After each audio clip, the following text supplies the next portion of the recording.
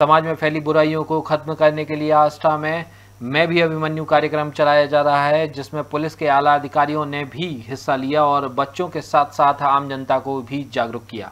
आस्था के सिद्धिगंज थाने में पुलिस अधीक्षक, अतिरिक्त पुलिस अधीक्षक और एसडीओपी के दिशा निर्देश पर मैं भी हूँ, अभिमन्यु अभियान को आगे बढ़ाया गया, जिसमें पुलिस अधिकारियों ने नशा दहेज रूढ़ीवादिता, अश्लीलता असंवेदनशीलता लिंग भेद के बारे में आमजन को जानकारी दी।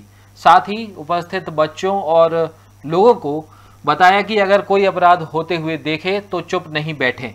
एक जागरूक नागरिक की तरह उसका विरोध करें और अभिमन्यु की तरह सभी बुराइयों का चक्रव्यूह तोड़े।